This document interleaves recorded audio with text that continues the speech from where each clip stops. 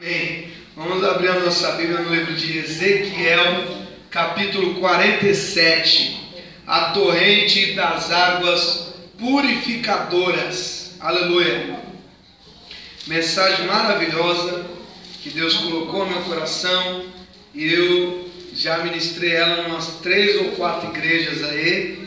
E o Senhor tocou para eu ministrar hoje aqui também para nós, tá? Ezequiel é bem no meio da Bíblia, Aleluia. 47. É próximo de Mateus. Aleluia.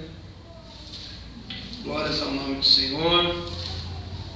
É uma bênção estarmos aqui. Daqui a pouco a gente pega o ônibus e vai para São Paulo. Nove da noite já estamos no, no ônibus. Para amanhã, cedinho, estarmos no trabalho. né? Trabalho dignifica o homem, né, irmão Rodrigues? Sem trabalho, Deus manda a gente ter com as formiguinhas. E a gente está aprendendo bem. Achamos Ezequiel capítulo 47, vamos ler. A torrente das águas purificadoras. Versículo 1 diz assim: Depois disso me fez voltar à entrada da casa, e eis que saíam umas águas de debaixo do umbral da casa para o oriente porque a face da casa olhava para o oriente, e as águas vinham de baixo desde a banda direita da casa, da banda do sul do altar. E ele me tirou para pelo caminho da porta do norte e me fez dar uma volta pelo caminho de fora até a porta exterior pelo caminho que olha para o oriente. É, a palavra oriente está se repetindo aqui e Deus vai dar uma revelação importante sobre o Oriente para nós aqui.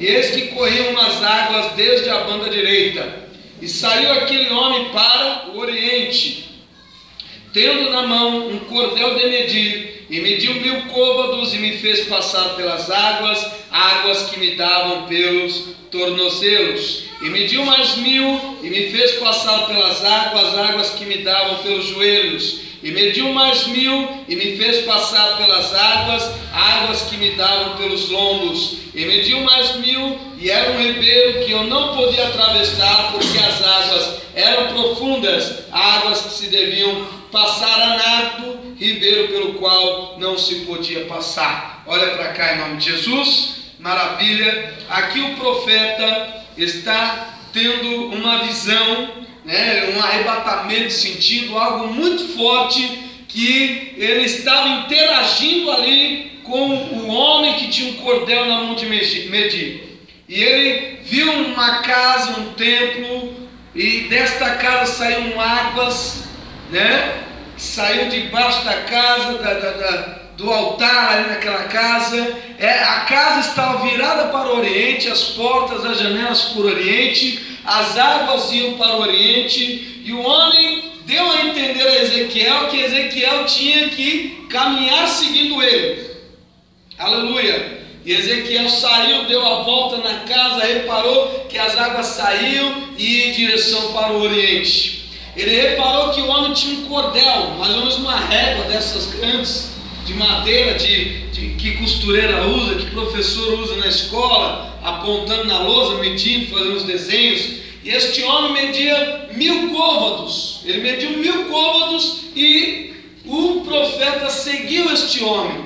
A gente, quando anda em chão molhado, o chão molha a sola do sapato. Né? Ele percebeu que aquela água, conforme ele andou mil metros, chegou até o seu tornozelo. E o homem continuou medindo e ele seguindo o homem. As águas chegaram aos joelhos, depois chegaram ao, às costas, aos lombos, e chegou um instante que a água era tanta em direção ao oriente que ele não podia mais caminhar. Ele tinha que nadar. Amém, queridos irmãos? Então vamos continuar a leitura aqui. Aleluia, versículo 6. E o homem me disse, diz o profeta: Filho, viste, filho do homem? Então me levantou, me levou e me tornou a trazer a margem do ribeiro. E tornando eu, eis que à margem do ribeiro havia uma grande abundância de árvores, de uma e de outra banda, Então me disse: Estas águas saem para a região oriental e descem a campina e entram no mar, e sendo levadas ao mar, sararão as águas. Aleluia! E será que toda criatura vivente que vier por onde quer que entrar esses dois ribeiros viverá, e haverá muitíssimo peixe, porque lá chegarão essas águas e sararão, e viverá tudo por onde quer que entrar este ribeiro. Será também que os pescadores estarão junto dele, desde Engedi até em Eglaim. Haverá lugar para estender as redes, o seu peixe, segundo a sua espécie, será como o peixe do mar grande em multidão excessiva mas os seus charcos e os seus lamaceiros não sararão, serão deixados para sal. Amém? Estou lendo bastante, gosto de ler a palavra de Deus. A palavra de Deus ela é viva e os detalhes da mensagem de Deus, cada detalhe traz uma revelação para nós. Não é? Quando o profeta não conseguiu caminhar mais, ele tinha que nadar naquelas águas o homem que media tira ele e coloca à margem do rio. E pede para ele olhar à sua volta. Ele fala: Viste, filho do homem? Ele vê árvores lindas, grandes, formosas, com folhas verdes, árvores frutíferas. E o homem ainda continua falando com ele: Olha, está vendo que essas águas continuam, elas vão, elas estão indo e vão parar lá no mar. E acontece que quando elas chegarem no mar, vão sarar aquelas águas. As águas que saíram daquela casa vão parar no mar, águas doentes que serão saradas também. Amém? Aleluia. E ele fala, ele continua falando: nesta, neste mar aí que está doente, as águas vão sarar e haverá vida. Hoje não tem vida, mas vai ter vida e vai crescer peixes em grandes quantidades, grandes quantidades, quantidade excessiva que os pescadores vão estender a sua rede, vão esticar a rede e vão pescar tranquilamente. A única coisa é que as lamas que saírem de lá não servirão para nada. Amém? Aleluia. Continuando aqui, serão deixados para sal, versículo 12. E junto do ribeiro, à sua margem, de uma e de outra banda, subirá toda sorte de árvores que dá fruto para se comer. Não cairá sua folha, nem perecerá o seu fruto. Nos seus meses produzirá novos frutos, porque as suas águas saem do santuário, e o seu fruto servirá de alimento e a sua folha de remédio. Amém? E aí ele termina dizendo: Olha, olha de novo, repara bem nessas árvores. Nunca vai cair folha nenhuma dela, os frutos não vão apodrecer, né? Todo tempo terá vida isso aí, e, e os frutos servirão para alimento e as folhas servirão de remédio. Amém? Amém. Aleluia. Irmãos, a palavra de Deus, a gente tem que ler ela e procurar entender o que o Espírito Santo quer falar conosco por meio dessa palavra, não é? Aleluia. A gente sabe que a Bíblia ela tem vários sinais e, e os, os símbolos dela representam coisas importantes para nós, né? É, quando a gente lê o Velho Testamento, tem que procurar ler o Velho Testamento tentando encontrar Jesus. Né? Quando Moisés tocou na rocha, que da rocha saíram águas, aquela rocha representava Jesus.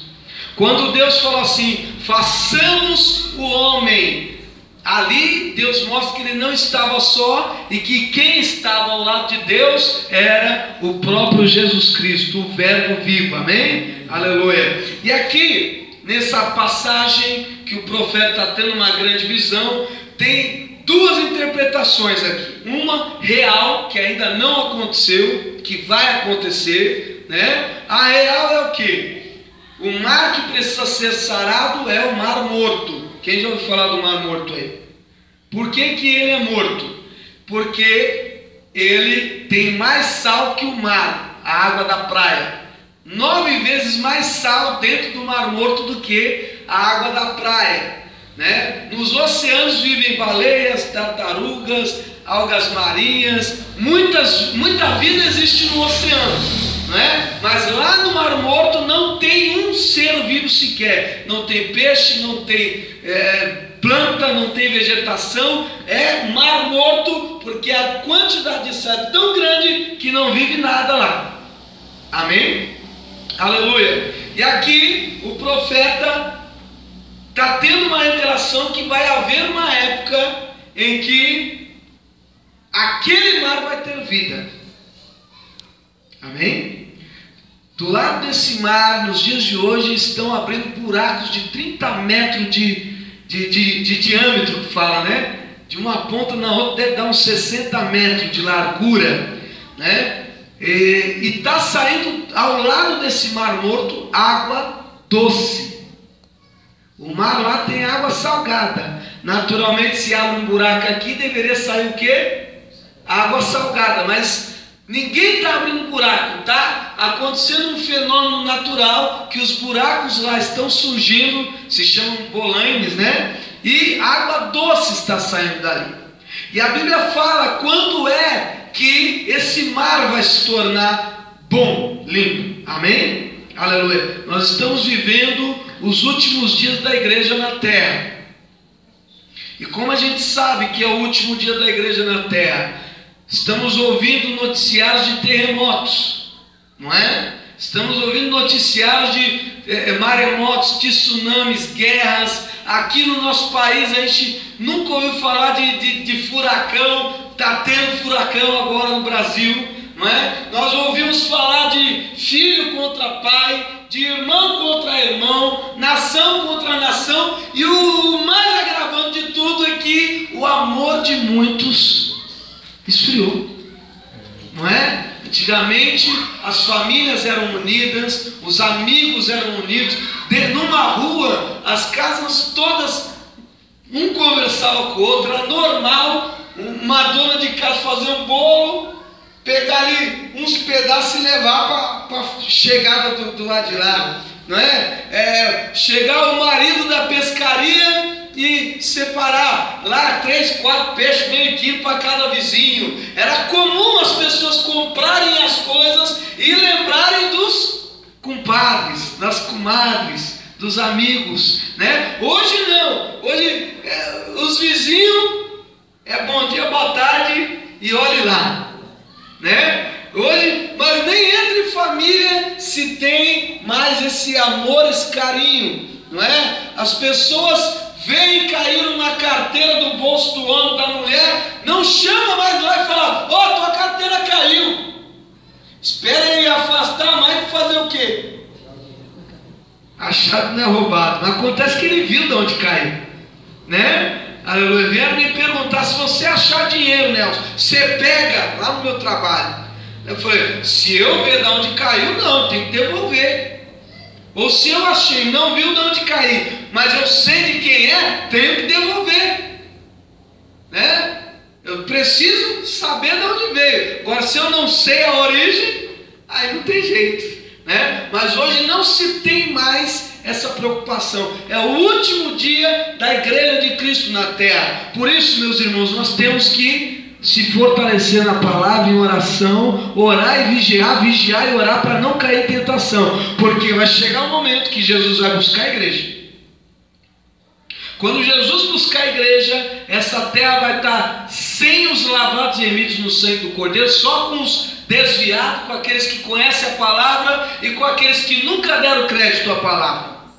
Satanás vai levantar o falso profeta e ele vai, em três anos e meio, acabar com a fome do mundo, acabar com a guerra do mundo, e nos últimos três anos e meio, que são sete anos que ele vai governar, ele vai reger com vara de ferro as nações. O que, que isso quer dizer? Só vai comer quem tiver a marca da besta. Por isso que a gente não precisa se preocupar com chip agora.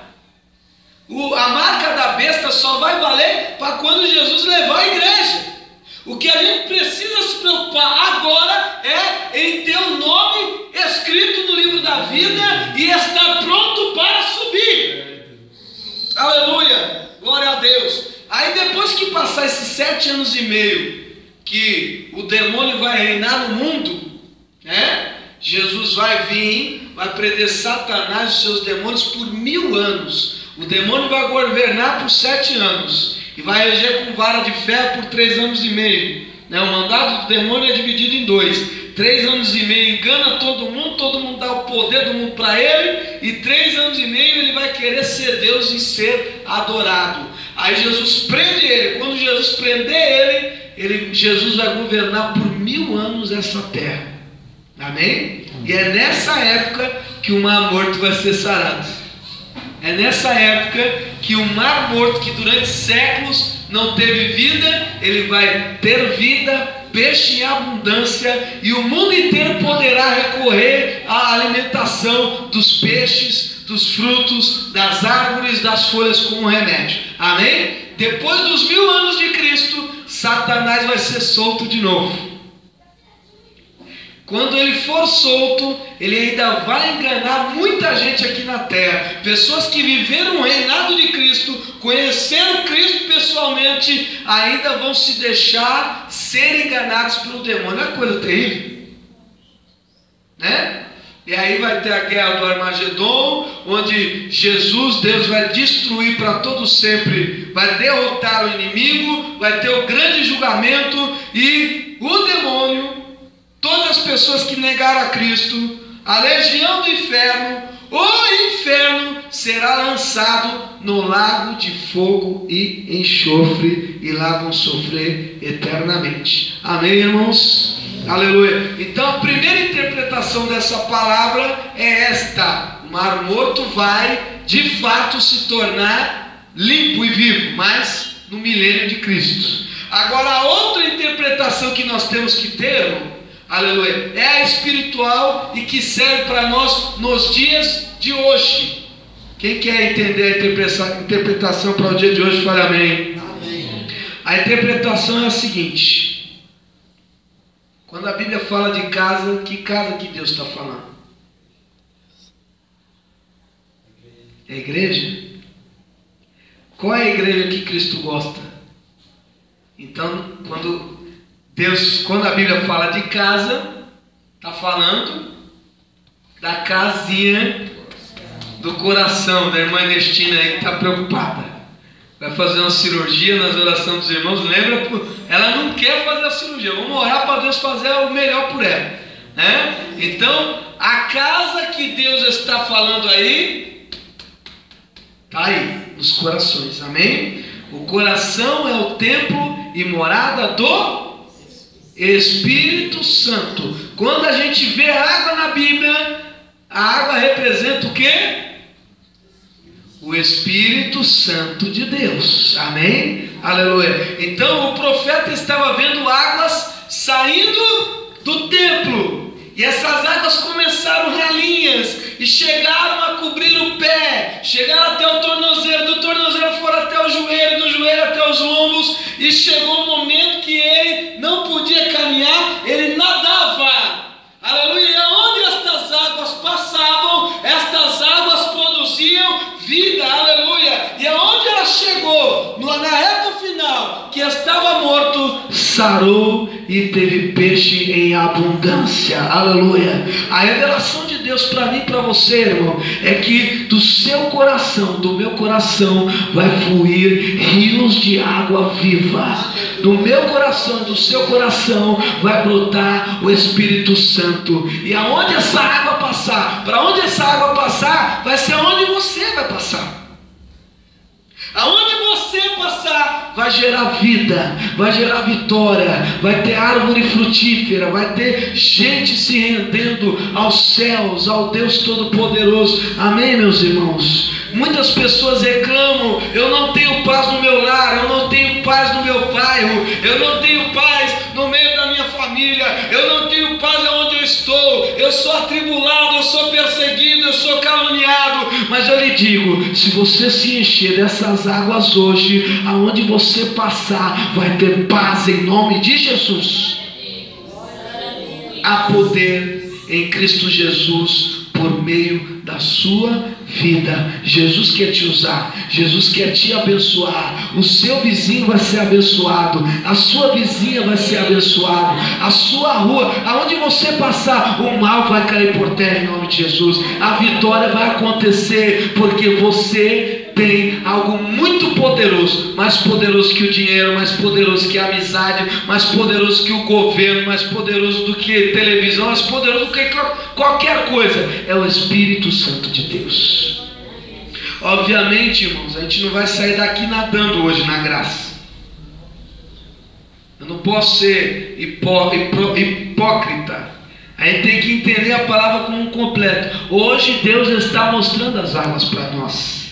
Hoje nós vamos sair daqui com água, pelo menos até o tornozelo, mas existe um mistério aqui: a cada mil côvados a água subia. Você não pode retroceder, você não pode voltar atrás. Você tem que sair daqui e clamar e buscar o Senhor, buscar o Espírito Santo. Amém, irmãos? Aleluia. Eu estava ensinando aqui o irmão Edilson, as irmãs aqui, que eu orava na casa de todo mundo, irmão Gustavo. Orava nas visitas, orava nas consagrações. Chegava em casa só o pó, já pulava na cama e dormia.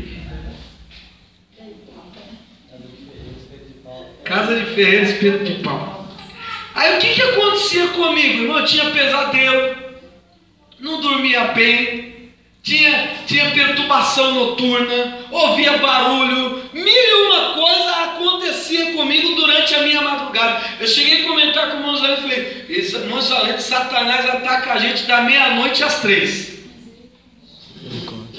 Que era o horário que mais eu ouvia coisas, sentia coisas.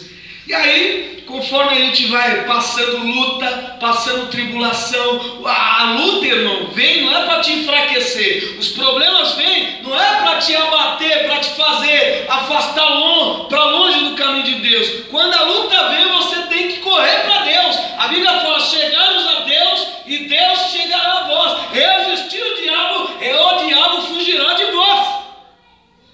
Eu passei uma luta tão grande nesse mês de abril aí que eu comecei a chegar em casa, oh Deus, antes de dormir.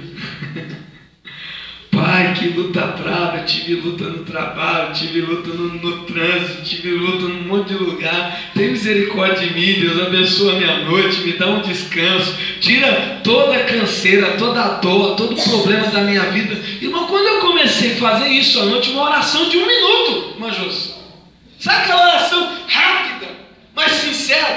Deus, olha, eu estou arrebentado. Pai, que amanhã seja um dia melhor, Pai, porque mais uns dias desse aí eu me arrebento, não aguento.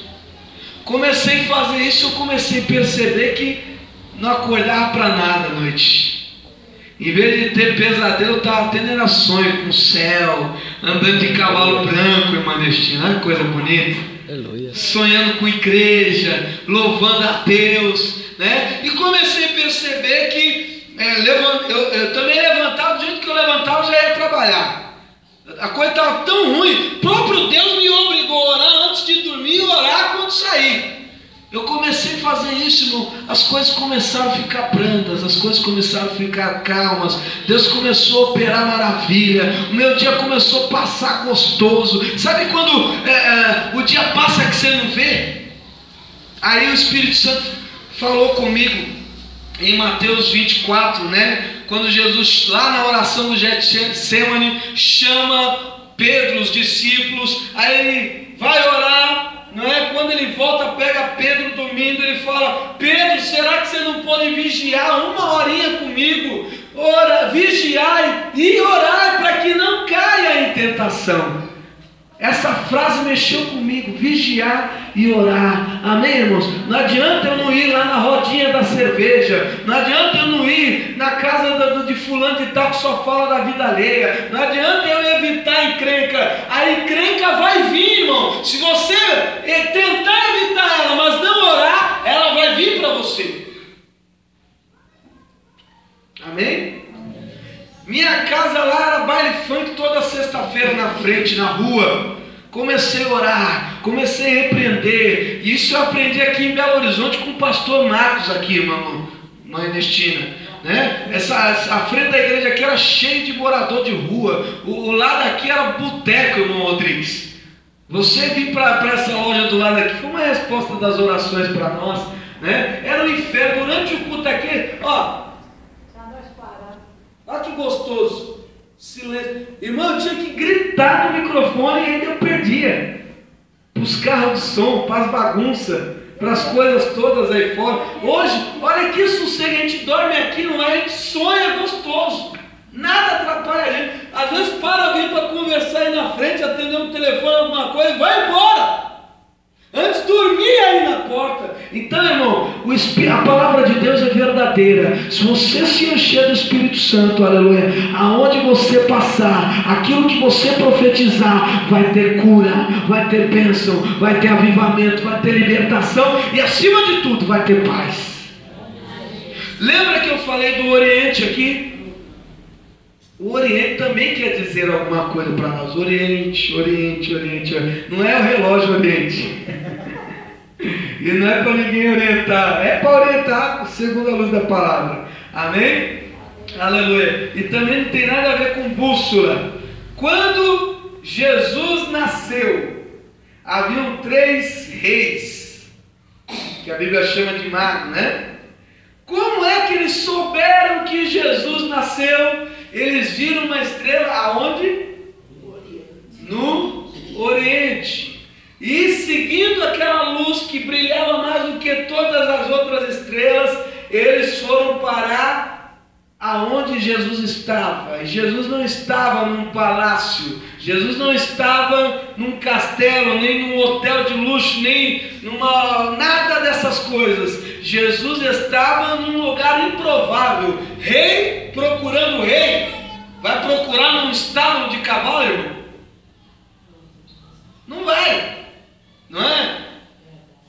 O irmão Gustavo aí fala de farmácia grande para ele. Ele vai procurar uma farmácia com uma fachada grande, com, com um letreiro grande na frente. É, portas de aço, né? Mas se, se chegarem lá e falar, tem uma farmácia em tal lugar, eles chegarem em uma portinha, sem fachada, sem nada, você vai entrar lá? Que arapuca para ele, né? Mas para Jesus, a luz do Oriente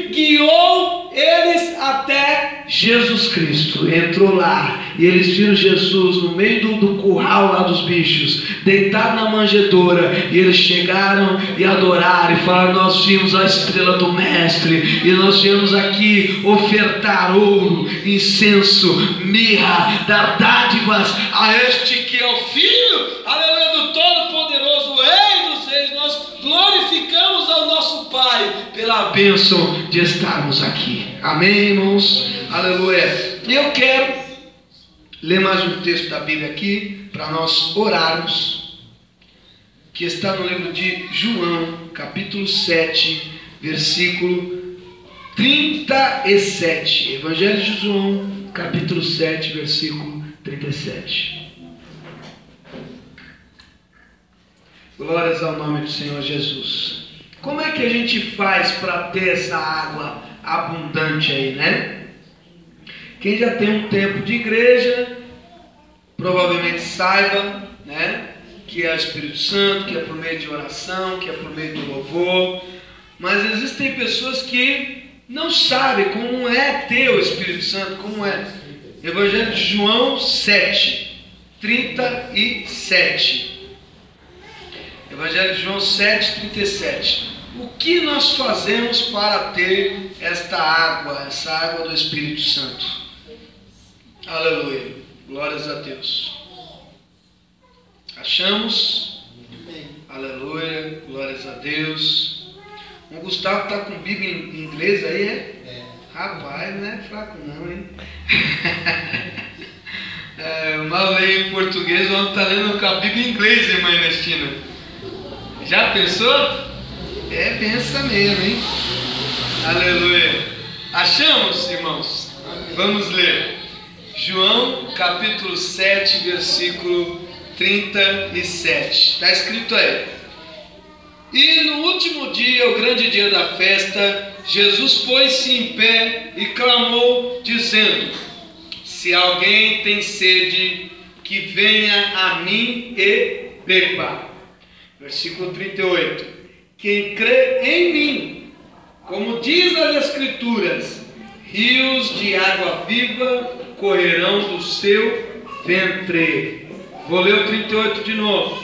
Quem crê em mim, como diz as Escrituras, rios de água viva correrão do teu ventre. Isso disse ele do Espírito Santo que havia de, de receber os que nele crescem, porque o Espírito Santo ainda não havia sido dado, porque ainda Jesus não tinha sido glorificado. Amém? Amém. Aleluia. Olhem aqui para mim. A maneira de termos o Espírito Santo é crermos em Jesus Cristo. Amém? Não tem como receber o Espírito Santo sem crer em Jesus Cristo. Jesus levantou e falou: Quem tiver sede, venha a mim. Aleluia, obrigado, mulher de Deus.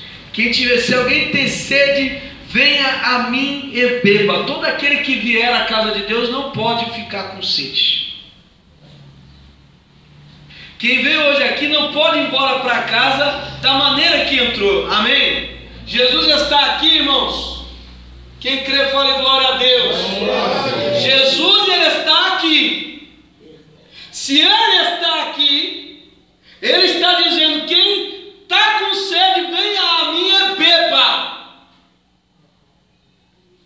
Ele não está dizendo talvez vai beber, ou talvez você seja abençoado. Ele está afirmando categoricamente que quem tem sede, quem precisa da bênção, quem precisa saciar a alma, venha e beba.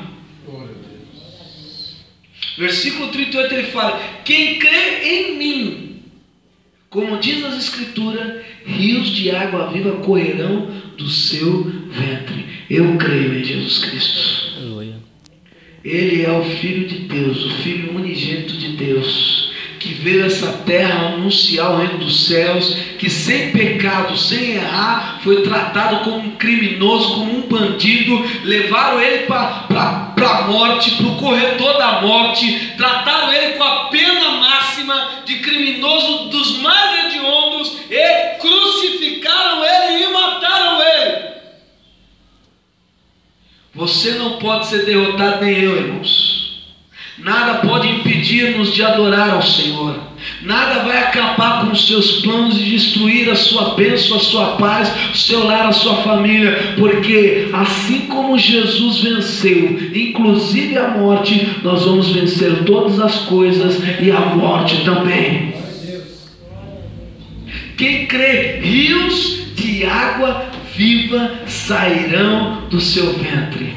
Irmão, águas que saem águas que curam, águas que transformam, águas que limpam, águas que aonde passar vai gerar uma mudança. Eu declaro hoje aqui, irmão, que você vai receber essas águas e que em nome de Jesus Cristo vai ter uma mudança lá na tua casa. Para você é difícil, para você é mas Deus vai fazer uma obra na sua família, Deus vai fazer uma obra nos seus vizinhos, Deus vai fazer uma obra no seu bairro, Deus vai fazer uma obra no seu trabalho. A Bíblia fala: crê no Senhor Jesus e será salvo tu e a tua casa.